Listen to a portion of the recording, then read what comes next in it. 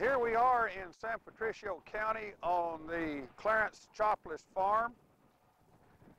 We've had a study going here now for three years to compare three different plant populations on two different row spacings. This will be the fourth year of the study.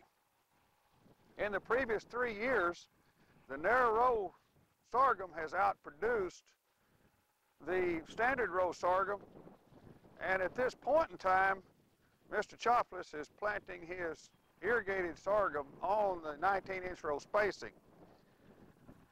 One uh, aspect of the study, as I mentioned, was to examine plant stands.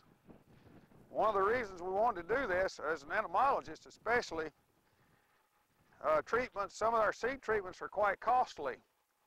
So as we increase the seeding rates, we're going up on cost of some of our systemic seed treatments such as Gaucho and Cruiser.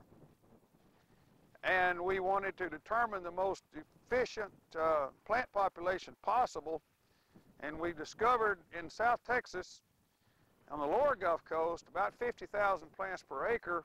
On the upper Gulf Coast, about 60 or 70,000 plants per acre may be our, our, our best uh, final plant stand. Now here on the irrigated field, it is a higher, represented by the higher plant stands.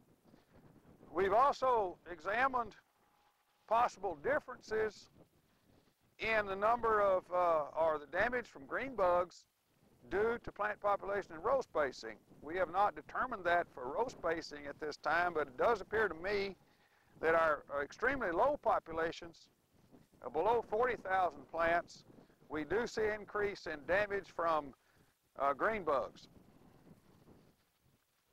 One thing to keep in mind when moving to a narrow row planting of sorghum is to keep the plant population the same as it was on the 38-inch rows. In other words, there will be one half the number of seed per foot of drill on the 19-inch row spacing versus what was done on the 38-inch row spacing. I've seen in the last two or three years a few farmers that have moved to the narrow row planting, but they did not reduce the number of seed down the drill in, enough uh, such that they ended up with too high populations and actually a loss in yield compared to what we found in so far in six of our eight studies, we have seen increase in yield on the narrow rows.